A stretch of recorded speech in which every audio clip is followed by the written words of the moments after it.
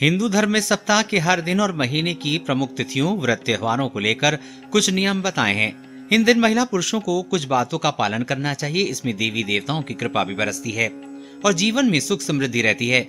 धर्म शास्त्रों में महिला पुरुषों को कुछ विशेष दिनों में ब्रह्मचर्य का पालन करने की सलाह दी गई है। धर्म शास्त्रों के अनुसार इन दिनों में पति पत्नी द्वारा संबंध बनाने से पैदा हुई संतान को शारीरिक, मानसिक समस्याएँ झेलनी पड़ती हैं। आइए जानते हैं कि किन किन दिनों में पति पत्नी को संबंध बनाने से बचना चाहिए। धर्म शास्त्रों के अनुसार इन दिनों में शारीरिक संबंध बनाना वर्जित माना गया है। नवरात्रि पर्व को बेहद पवित्र माना गया है। ये समय देवी माँ की पूजा आराधना में लगाना चाहिए। साथ ही सात्विक भोजन करना चाहिए और मन में अच्छे भाव रखना चाहिए।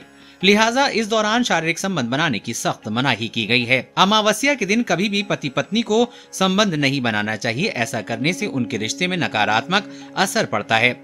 साथ ही इस दिन गर्भाधारण से पैदा हुई संतान का भविष्य बहुत अच्छा नहीं रहता है। पूर्णिमा पर भी पति पत्नी को संबंध नहीं बनाना चाहिए, दिन बुरी शक्तियाँ सक्रिय रहती हैं। सूर्य गोचर को सूर्य संक्रांति कहा जाता है। हर महीने की तेरह से पंद्रह तारीख के बीच सूर्य गोचर कहते हैं। इस तरह संक्रांति पर भी संबंध नहीं बनाएँ। हर महीने की चतुर्थी और अष्टमी तिथि को भी पति पत्नी के संबंध बनाने के लिए अच्छा नहीं माना गया है। रविवार का दिन भी पति पत्नी के मिलन के लिए उचित नहीं माना गया है। पक्ष के पंद्रह दिनों में कभी भी संबंध नहीं बनाए, ऐसा करने से पितर नाराज़ होते हैं। इस दौरान तो संबंध बनाने का विचार भी मन में लाना निषेध बताया गया है। सूर्य ग्रहण और चंद्र ग्रहण के दिन भी संबंध नहीं बनाना चाहिए। इससे पैदा हुई संतान को कई तरह के कष्ट झेलने पड़ते हैं। जब भी कोई व्रत रखे, उस दिन संबंध न बनाए। वरना व्रत का फल नहीं मिलता। व्रत में व्यक्ति के शरीर और मन की पवित्रता होना ज़रूरी है। देश और दुनिया की हर अपडेट पाने के लिए चैनल को सब्सक्राइब करें।